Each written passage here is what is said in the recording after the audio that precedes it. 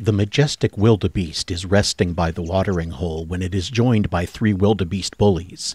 They call it a nerd and steal its lunch money. Poor wildebeest. But it is a nerd.